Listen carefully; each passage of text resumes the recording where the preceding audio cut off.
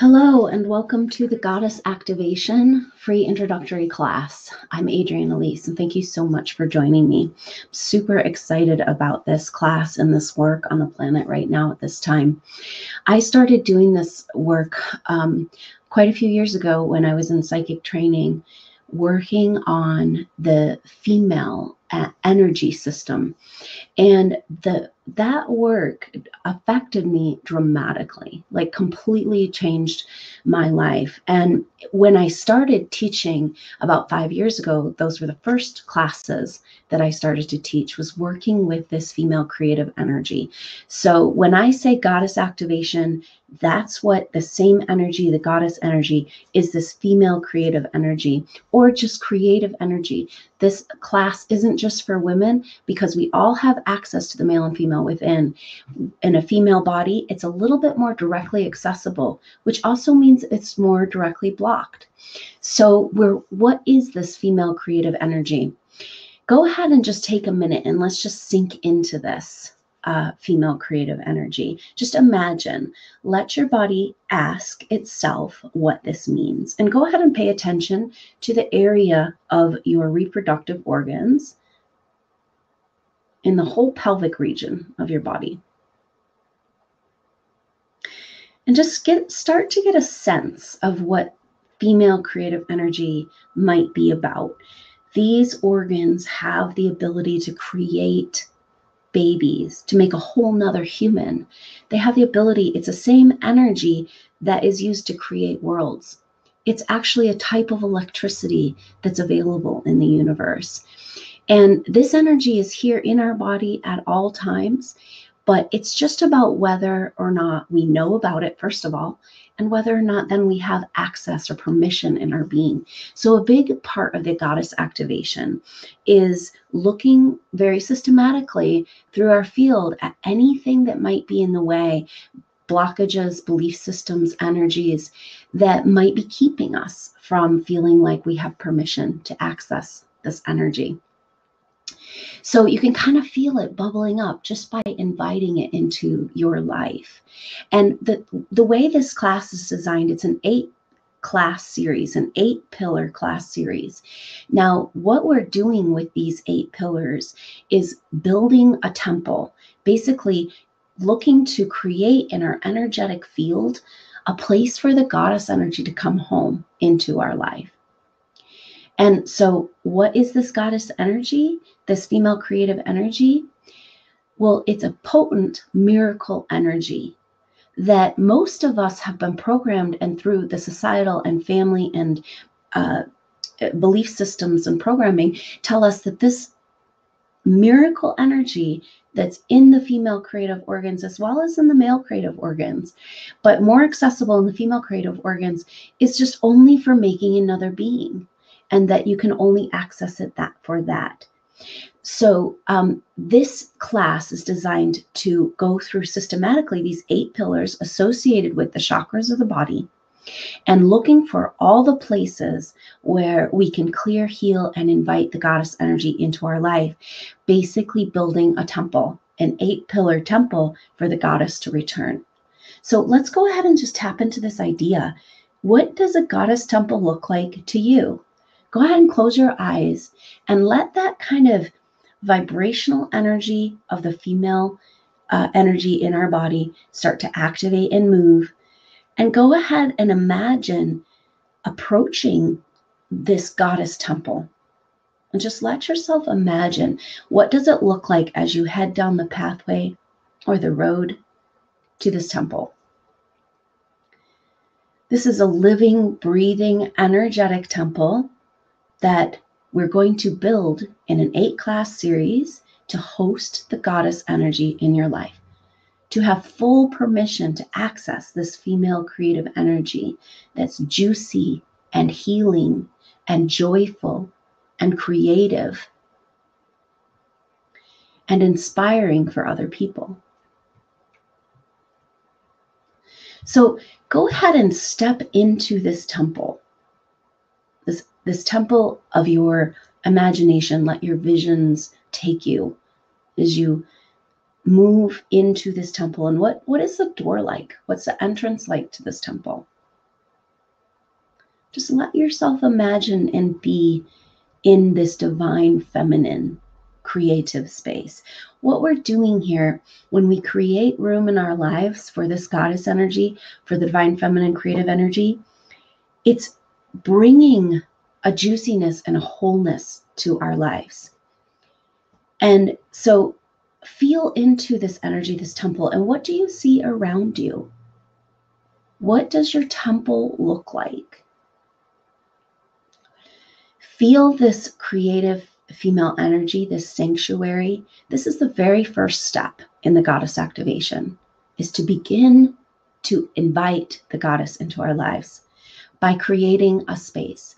So this space can be a physical space in your home or it can be an energetic space in your field or both. But just move into this beautiful temple in your imagination and just soak up the energy of the divine feminine. What does it look like in this image of this temple that you've arrived at to host the divine feminine? What does it feel like? What is the aesthetics of the room? What's the room made out of? What is inside the room? What colors? What else do you find in there? Perhaps some wise women holding down the wisdom of the ancient divine feminine. So when we access this divine feminine creative energy, we can also begin to move this energy in all areas of our life. And so this is the eight pillar system. This is a chakra activation system according to the goddess, inviting in the divine feminine and activating each chakra in harmony with that vibrational frequency. And so each chakra is a pillar in this system, in this temple that you're building in your energetic field. Just get a really beautiful feeling. And what kind of words come to mind when you immerse yourself in the divine feminine? What colors, shapes, or pictures or phrases come to mind as you explore the mysteries of the divine feminine? The feminine is nurturing, the feminine is creative, the feminine is healing. This energy, this female creative energy, is a power of the universe. It is the same energy that heals. It is the same energy that is sexual energy. Sexual energy is just amped up a lot. But this is the energy that create world, creates worlds. And so what we're doing is we're building a way to have greater access to this energy in our lives. So just taking a few deep breaths and feel yourself inside this beautiful temple. Goddess energy is strong but yielding, compassionate, empathic, healing, forgiving. What words come to mind when you think of the feminine? Because a lot of what this class is about is redefining the feminine we might think of the feminine as weak and didn't really understand, when actually the feminine is very, very strong. So, the thing also about coming into female creative energy is understanding that we have both male energy and female creative energy in our field. And so, in order to host the goddess, we must build a, a container now, this is the role of the male energy. And so, if we can have the boundaries we need, to be able to create this container for the goddess so we can be in our juicy wholeness, in this life that we dream of, in this fully activated existence. So, as we move along in this class, we're going to be looking at the issues of each chakra, and then in the eighth class, looking at the eighth chakra, the creative rings, and hooking back into all the chakras, creating the figure eight, a chakra integration according to the goddess. And so we're also going to be using the goddess archetypes, stories, and um, essences of these goddesses throughout time that carry the divine mystery. Now, the thing about the archetypes of the goddesses, they all represent one facet of the goddess. The thing about the divine feminine is she's changeable and she's chaotic, but she has some very clear archetypes. And for a woman to be whole and have a whole existence and be a goddess in her own right in this life, in this world, she needs to be able to understand and embody these different facets of the goddess. And these different facets of the goddess correspond again to the chakras of the body. So, this is a really great opportunity to use, get in touch with these goddess archetypes and receive an activation from the ancient feminine wisdom. And so, as we're feeling into this energy, just imagine the eggs that we all carry within us. That when your mom was born, she already had the egg that made you. And there's hundreds of thousands of eggs now, we're not going to have that many children in our life. So, what is this energy here for? And go ahead and just imagine you're tapping into this energy and get a feel for this female creative energy. This is like a fire, this is a warmth, this is uh, waking up. So, imagine in your ovaries, and if you don't have your physical organ ovaries, there's still energetic ovaries there. So go ahead and just imagine these ovaries ripe with all of these, this potential, these seeds and potential. And just imagine that they're warming to this energy and you're coming into communication, maybe for the first time in your life, with these magical organs that we have been kept separate from as some sort of mechanical device. So say hello to your ovaries, each ovary, one and then the other, and to your uterus and the fallopian tubes, all of the parts the vagina and the cervix, all of the parts of the female organs. And if you're in a male body, you'd be focusing on the testes and the sperm. And feeling this creation energy. Now, when we start to feel into this creation energy, we can immediately come into a lot of times some energy or some reaction in our body. So just paying attention to the rest of your body, just doing a little experiment here. And where do you feel either chronic pain or tension or right now in this moment a sensation? So go ahead and follow that sensation in your body.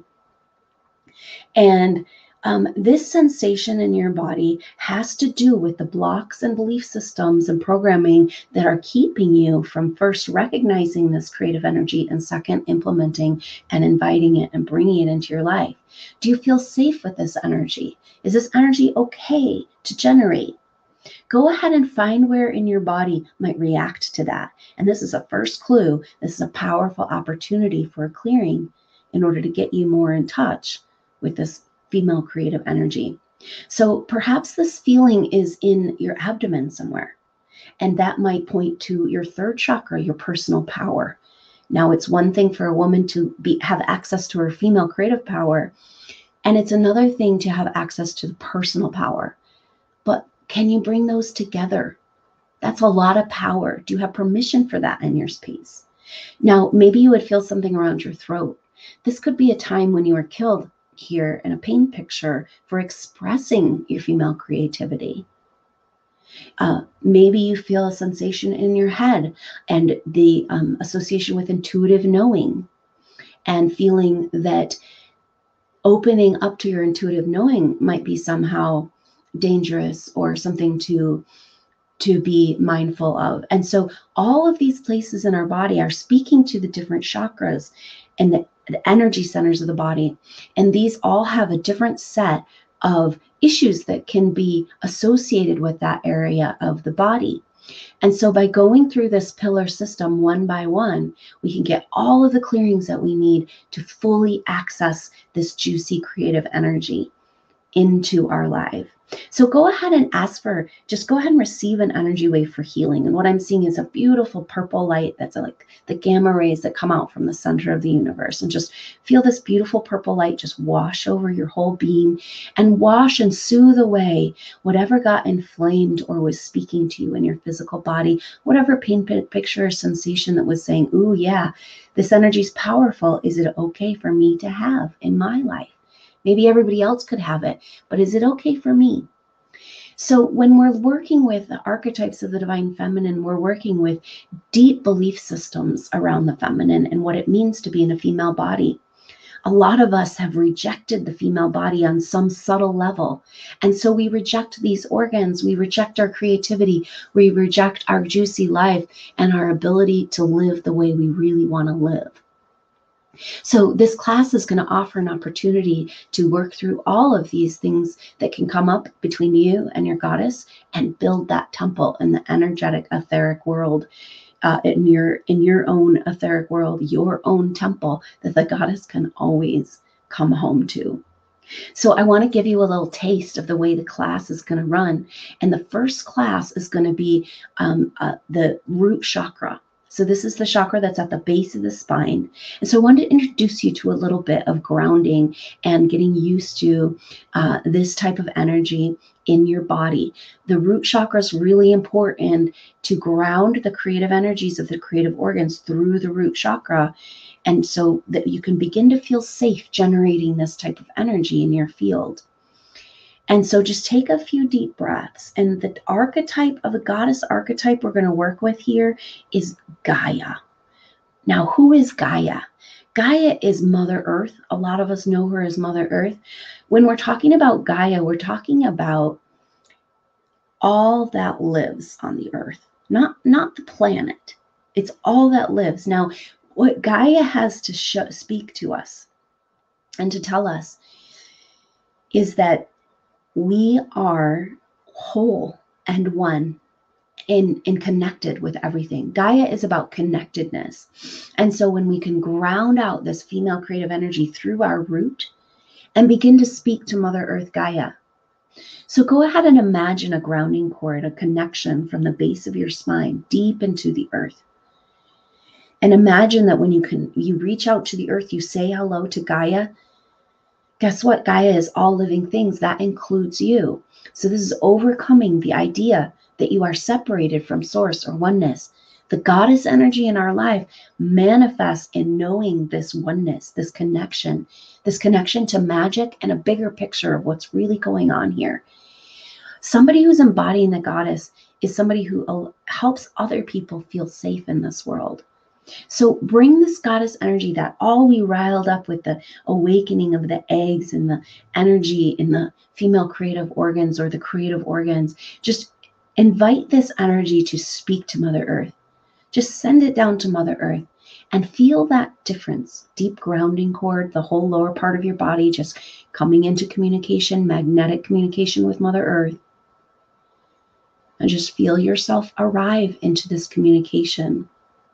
Notice the difference in your body, in your field, when this energy is grounded. This energy is so potent and it has an energy of feeling like, what do I do with it? How do I own this power? Is it scary to other people? Is it scary to me? But when we bring it into communication with Mother Earth, we feel that deep security of the elders, the elder women of the tribes, that held it together on the rhythms of the earth and the peace peace of their tribes and their nations. And they did this through this connection with mother earth and this deep trust and knowing that they were a part of a bigger whole opening up to the magic and the creative energy and the intuitive knowledge they needed in order to keep their tribe safe so feel this connect, connection through the earth to the ancient elder women throughout generations and throughout time. This knowledge that lies within the elders, the grandmothers, and feel this root system grow as you feel your whole body come into deep peace, into deep surrender, into knowing that you're held by the universe, that you are a child of Mother Earth and go ahead and come home to this energy and feel how that sensation is dissipated in your body that we were paying attention to before. Because now you're inviting and increasing your permission to feel secure in this energy by being in communication with Mother Earth Gaia. Our main archetype, Gaia is ever renewing herself. Gaia is a beautiful teacher for us because she shows us the abundant nature of the divine feminine. That there's always more. And the competitive energies between women comes in from a male concept. but that doesn't belong in the feminine. And the feminine, the true goddess knows that there's plenty to go around. And the gifts that I have or she has just means there's more beauty and more light and more love in the world. And we want to empower each other as goddesses. That's one of the great benefits of this class is easing and opening relationships with other women through releasing better boundaries and releasing these stories of competition that have plagued uh, the feminine for so long. They're actually male concepts and don't really belong in this abundant nature. This abundant nature feeling that Mother Earth Gaia and just feeling that you you've just dropped down into Mother Earth. And Mother Earth is all around you. And just imagine you're in a ball of light that is Mother Earth and just breathe into that ball of light. Feel yourself more at peace, more at home, and more comfortable at the same time, more activated than you ever may have allowed for yourself in this lifetime. Just feeling that deep root system with the earth as you breathe together with your electromagnetic field and Mother Earth. Feel the peace that's arriving in your space, making room for this goddess energy. And just taking a few deep breaths, breathing in this energy, getting a glimpse of the first pillar of this temple that we're going to build together. And just think about what this temple means as one by one we learn to rebuild a temple in our field for the goddess. And that we are affecting the collective by inviting the goddess little by little here into planet Earth. Gaia awakens into her true potential. So, this communication with Gaia is a really great basis to start and feel safe and work into growing this energy, inviting this energy, and harmonizing and activating the chakras in accordance with this goddess energy. So it's just take a few deep breaths, and when you're ready, as you can allow, go ahead and come out of meditation. And I would love for you to share with me in the chat anything that you've experienced. What was this like for you? What did your temple look like? What kind of words came forward and concepts when you think of the divine feminine? And I'm going to go ahead and share some words and concepts too. And together, let's redefine the feminine. Let's figure out what this really means because most of us have been living about a half a life or a quarter of a life of what we really want to live. And somehow inside of us, we sense that this is the key.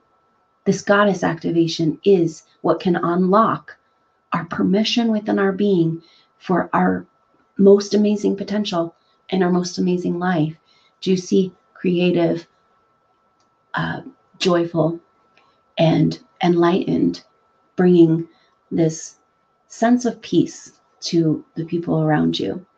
So, thank you so much for joining me for this goddess activation today. Um, I can feel a huge shift in permission within the group for this energy. And what a great way to start this journey together. So I hope you can join me for the goddess activation. If not this time, then next time. Um, and uh, until next time, I'm Adrienne Elise. Namaste.